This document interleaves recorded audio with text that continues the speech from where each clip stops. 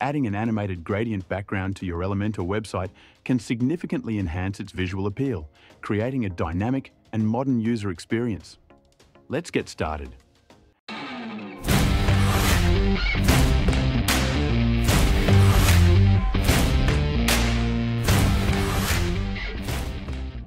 Before getting started, make sure you have the Unlimited Elements free version installed and activated on your WordPress website. Then, head over to Unlimited Elements, Background Widgets, and use the search bar to find Animated Gradient Background.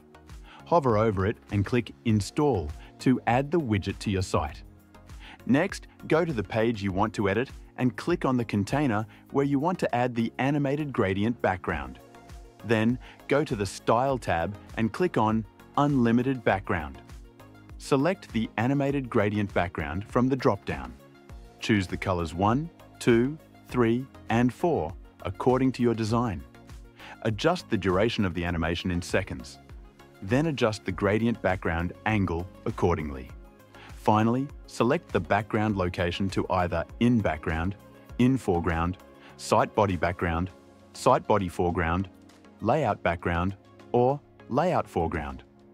This is how easy it is to add an animated gradient background to your Elementor website.